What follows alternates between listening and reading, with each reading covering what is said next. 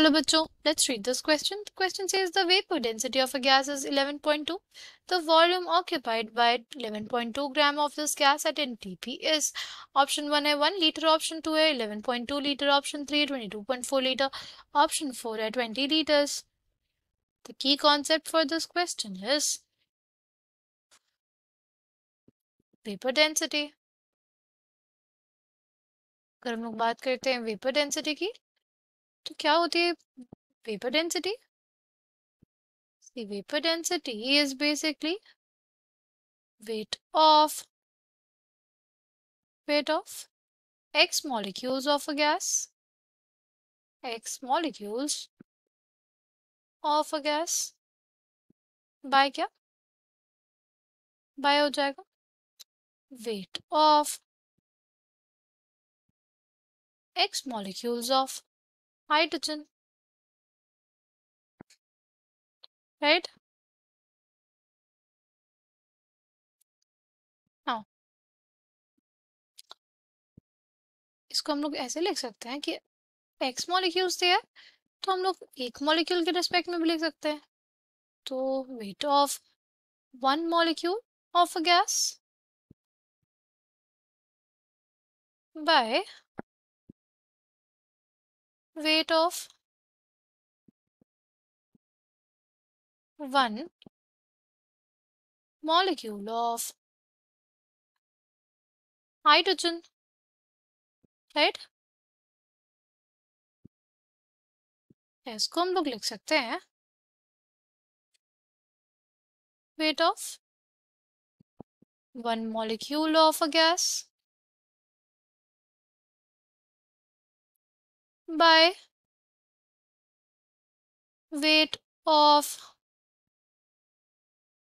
hydrogen की एक molecule में दो एटम्स होते हैं weight of two atoms of hydrogen ठीक? और जो हमारे पास मॉलिक्यूलर वेट होता है, वो क्या होता है? Weight of one molecule of a gas by weight of one atom of hydrogen इसीलिए जो हम लोग वेपर डेंसिटी है उसको क्या लिखते हैं? Vapour density is basically equals to molecular mass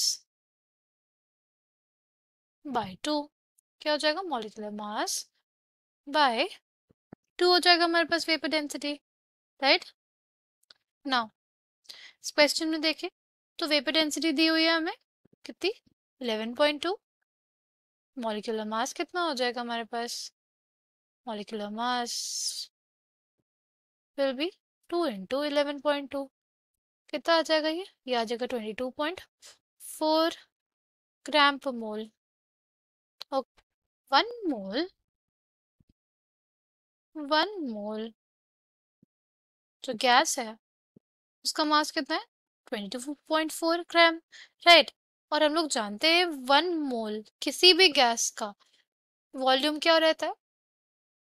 होता है twenty two point four litres right NTP पे हमारे पास क्या होता है? एक मोल कोई गैस है अगर, ठीक? उसका जो वॉल्यूम होता है, यानी जो वो मोलर वॉल्यूम होता है हमारे पास, वो कितना होता है? वो होता है twenty two point four litre right यानी इस पर्टिकुलर गैस के लिए एक ग्राम गैस का जो वॉल्यूम होगा, क्या हो जाएगा 22.4 लीटर? बाय 22.4 कितना आ गया हमारे पास? क्या आ जाएगा वन लीटर? यानी इस गैस के एक ग्राम अगर होगा तो वो ऑक्यूपाई करेगा one litre volume.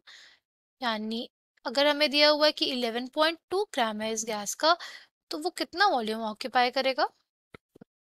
11.2 gram of the given gas will occupy will occupy